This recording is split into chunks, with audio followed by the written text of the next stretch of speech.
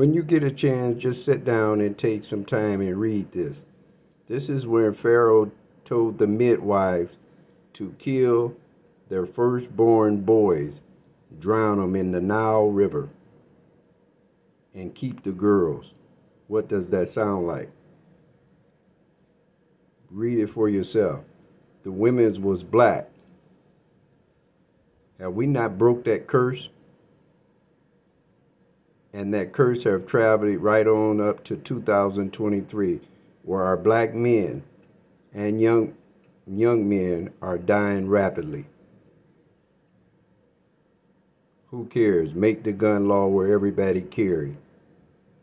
Kill off the men. Women will go to women, and it won't be no marriage and no more babies.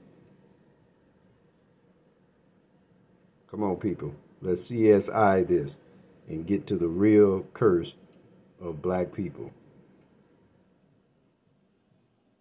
In Jesus' name, amen.